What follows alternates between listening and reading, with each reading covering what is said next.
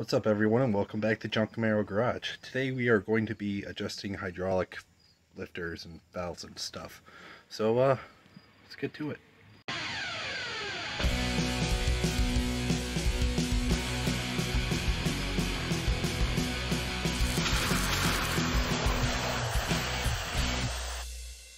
Alright, so this is where we're going to be starting off.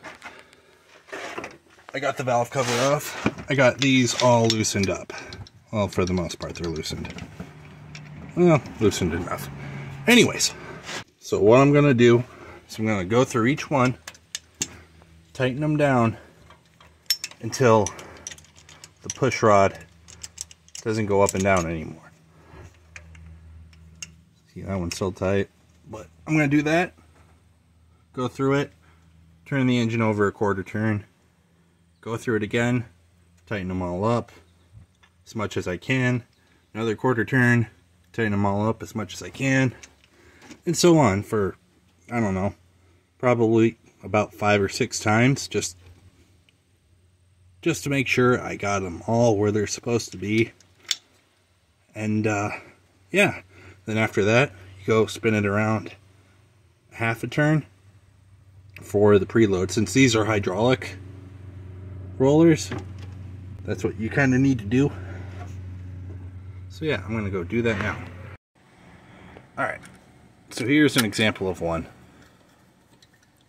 It's loose, jiggly. So now we're to tighten it down till there's no more jiggle up and down. A couple cranks. Kind of hard to do with one hand. Test it. Still move, moves up and down. A few more cranks. Too much. Alright, time to back it off.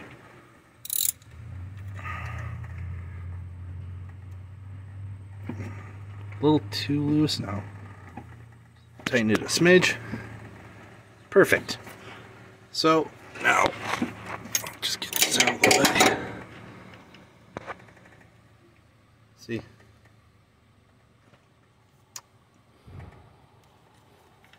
Still a little wiggly, but no more up and down. Now I'm going to go through, do the rest, spin this over quarter turn, repeat the process, and then, uh, yeah, that's essentially how I do it anyways. I know there's a bunch of different other methods that people use who, and people will say, oh yeah, this is the right way, you shouldn't do it this way, da da da da da. But, uh, you know, it's just the way I do it. So I'm going to do that and then I'll get back to you guys once it's all done and put back together and we'll take it for a test drive. Alright, so I got the rotation done. Everything's all hunky-dory. No more going up and down. So now we got to adjust for preload. And I do a half a turn. So, there. Bring it up quarter, quarter, quarter. Because two quarters equal a half. Now I'm just going to go do that to the rest of these, put the valve cover back on, and then put the spark plugs back in and get everything where it should be, and then fire it up and uh, see if it makes any difference. Alright, it's all put back together. Let's go and uh, fire it up and see if it it's made any sort of difference, I guess.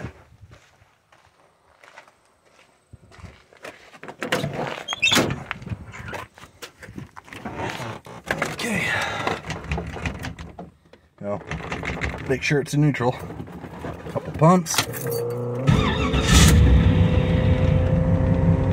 Oh, fires right up.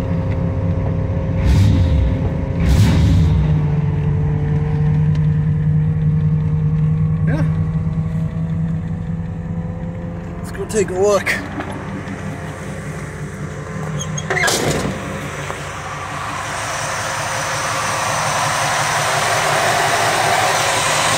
Well, no noticeable oil leak so far. So I guess that's a plus.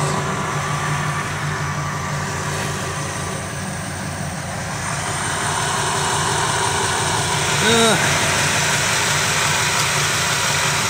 I can't really tell if that was leaking before or it's leaking now. Let me just give it a...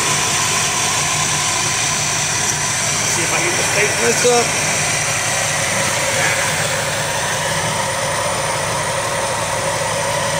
My guess is it, it was leaking before. I'll see if I can tighten it up real quick and then uh, take it for a test drive. Alright, so sorry about the funky camera angle. I just kind of got the phone hooked up to my little phone holder that I made and it's on the dash. But anyways, let's go see if it runs any better.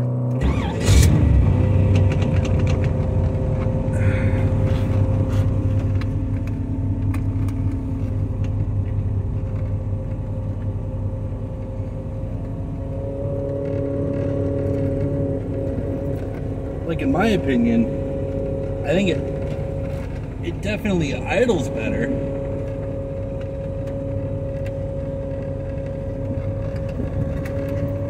So I probably goofed up.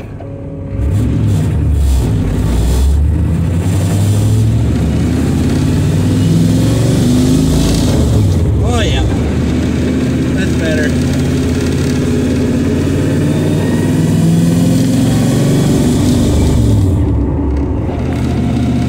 A lot better.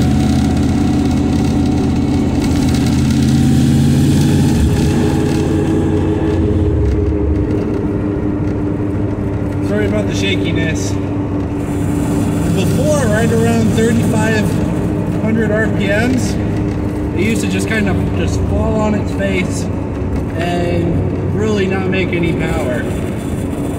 So I thought I was just running lean on the top end, like I thought my jets were a little funky or something in that nature, but did a little research on it and they were saying like there's a forum that was saying that valve float could possibly be an issue. So I think that was the issue. So we're gonna make a quick trip down to Mexico real quick, test on her a little bit, and see how much of a difference this valve job has made. So now that we're in Mexico, can test on her a little bit. You know, Mexico's looking awfully green this year. Well, alright, let's fucking. Well, let's wait till this car goes by. Alright. One, two, three, go.